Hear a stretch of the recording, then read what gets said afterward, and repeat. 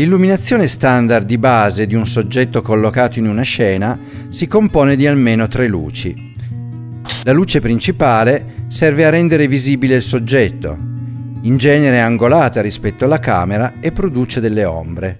Si può usare un proiettore o una quarzina.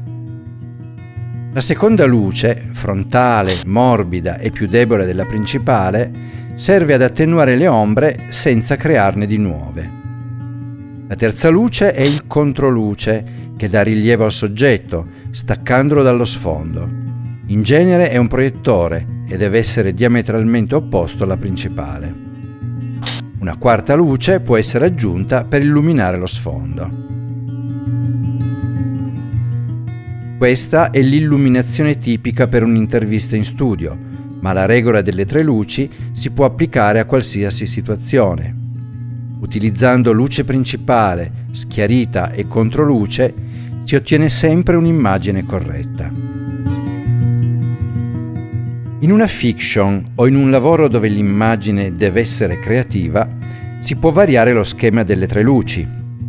L'illuminazione deve simulare la realtà. Si devono mettere le luci in modo coerente con il risultato realistico che si vuole ottenere.